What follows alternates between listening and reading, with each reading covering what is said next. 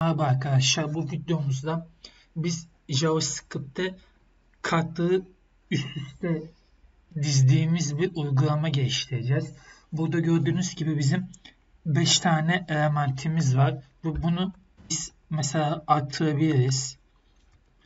Mesela white diyeyim. Burada bizim mesela şu anda 6 tane elementimiz var ve biz her tıkladığımız zaman bizim arkadaki kartımız öne geliyor. Bu şekilde bir uygulama geliştireceğiz.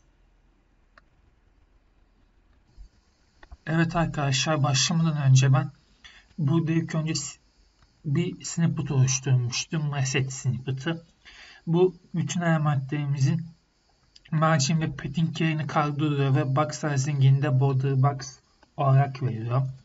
Onun dışında ben bir de root tut altında bir karışama vermek istiyorum. Yani bu bizim dark temamızla yani tek sayfamızın temasını değiştirebiliriz.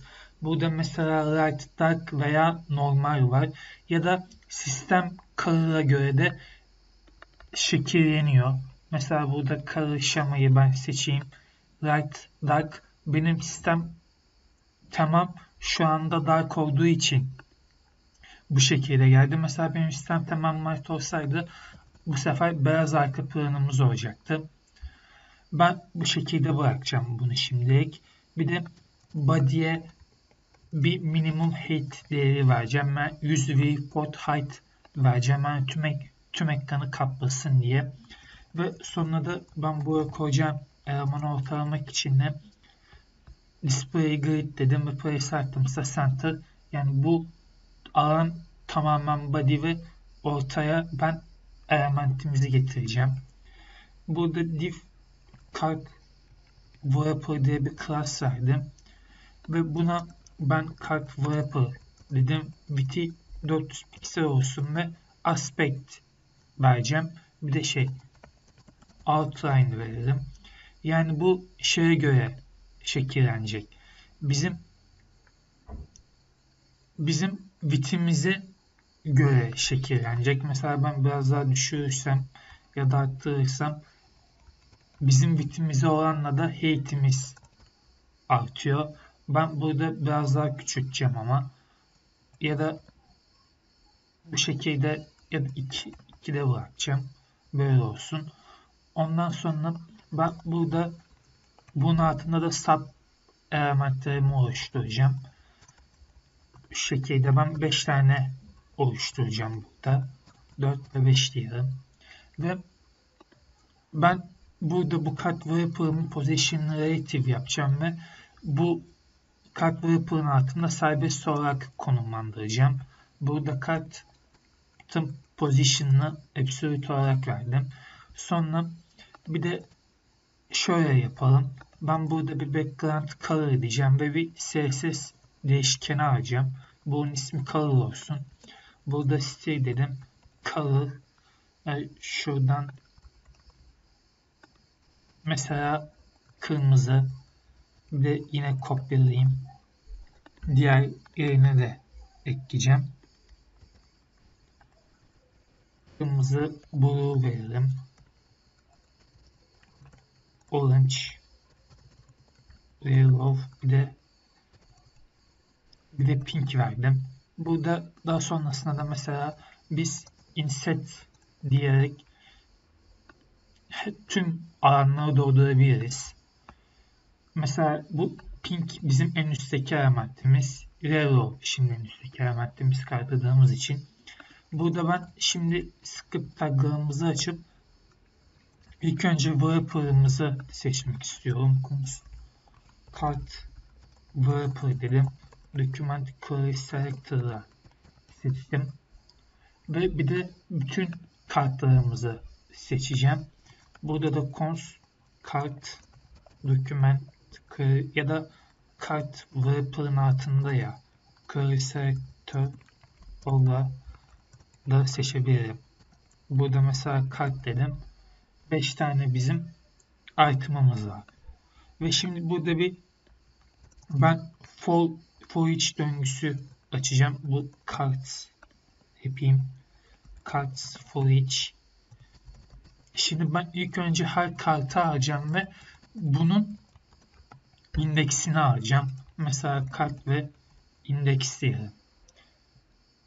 Ve bunları aldıktan sonra ben şöyle bir şey yapacağım. Mesela şöyle mesela indeks indeks çarpı 10.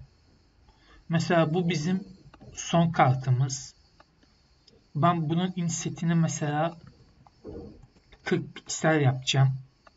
Sonra onun arkasından mesela 30 piksel reload. Daha sonrasında orange'ımız 20 piksel.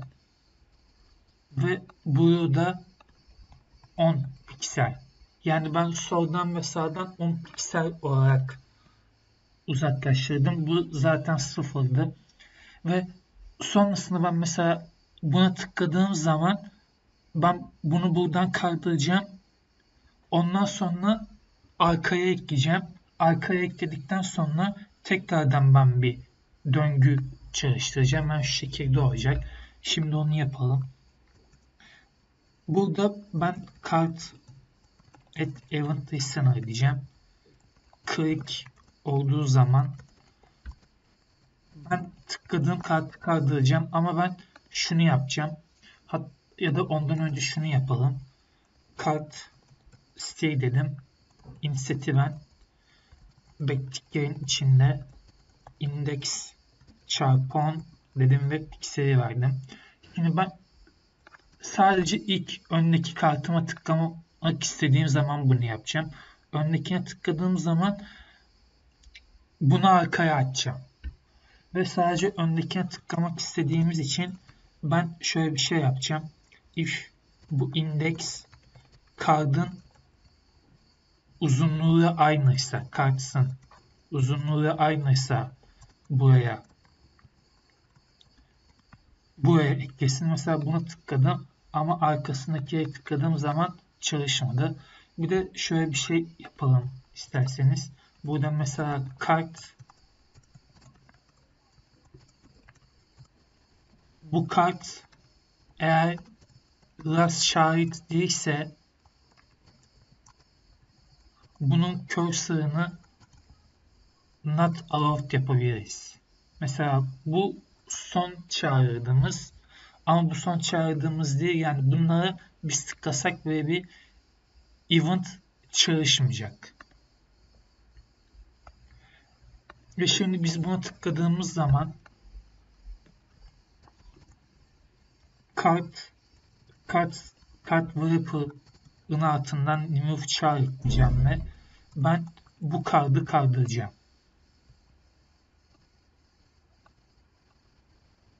Şöyle yapayım. Ben bu kartı buradan kaldıracağım. Ve ben bunu kaldırdıktan sonra bunu tek ben bu kartın kopyasını arkaya ekleyeceğim. Onu da şöyle yapabiliriz. Yani bu bu tıkladığımız elementin bir kopyasını alacağız. Clone notla. Burada copy dedim ben. Kart clone not. Yani bu bize farklı referansla aynı elementimizi verecek. Mesela log copy bir de log kart diyeyim. Buna tıkladım. Bu bizim copy olan copy değişken copy değişkenimiz bu da bizim kartımızın kendisi bu farklı bir element, farklı bir ağını gösteriyor. Ve ben bunu tekrardan en başa ekleyeceğim. Bir de şurada copy text content'i de indeksi vereyim yine. Index to to string. Şimdi ben bunu kaldıracağım. Ve kaldırdıktan sonra card, card wrapper prepend kullanarak ön tarafa ön tarafa ekleyeceğim. Onu da bizim copy değişkenimiz vardı. Copy değişkenimizi ekleyelim. Mesela ben buna tıkladım. Bizim kartımız mesela arkaya gitti. Ama bir de şöyle bir şey var. Bizim z indeks z indekslerimizi ayarlamamız lazım. Yani mesela bu kartımız bizim en arkada ama bunun biz insetini hala değiştirmedik. Mesela hala 40 pikselde. Yani bunun altında olduğu için gözükmüyor. Yani bu insetleri tekrardan ayarlamak için ben bu döngüyü tekrardan çalıştıracağım. Onun için de burada ben function sort diye bir fonksiyon oluşturayım. Sonra ilk önce ben bu sort'u burada çalıştıracağım. Sonra buraya tıkladığımız zaman da ben tekrardan sort fonksiyonunu çalıştıracağım. Mesela buraya tıkladım.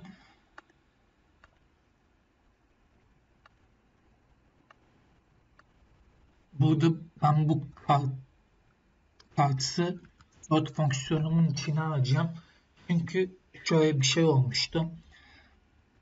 Ben bunu tıkladığım zaman ben hala bu değişkenimi okuduğum için hala bu benim son elementim olarak bu 5 text content'i 5 olan elementim kalıyordu. Ama onda bulamadığı için bizim click even yani hala ona tıklamaya çalışıyordu ama biz bunu tekrardan her seferinde güncelleyeceğimiz için ben bu sort fonksiyonun içerisine aldım. Burada mesela bir her tıkladığımızda bu şekilde bizim kartlarımız çalışıyor gördüğünüz gibi. Bir de buraya şey ekleyelim. Burada bu copy text content'i pardon kart kartın text content'ini şöyle plus şöyle yapalım yine backtick içine alacağım.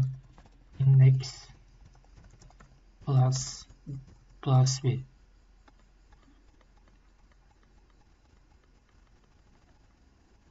ve daha sonrasında da bir de ben buraya bir transition ekleyeceğim. Transition inset 500 milisaniyede ve kübik bezier ekleyeceğim.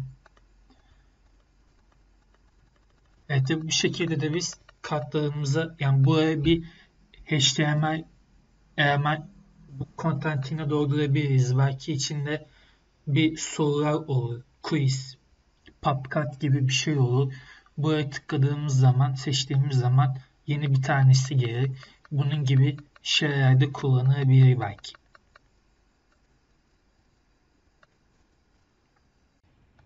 Ya da şöyle yapalım. Burada ben şunu keseceğim. Tekrardan ben bunun içine alacağım. Bu copy'nin text content'ini yapacağım. Text content'ini değiştireceğim. Sonra da bu buraya gelenin buradaki son kartın text content'ini ben vereceğim buraya. Mesela dördüncü elementimiz başa geldi. 3, 2, 1 tekrardan bu pembe başa geldi.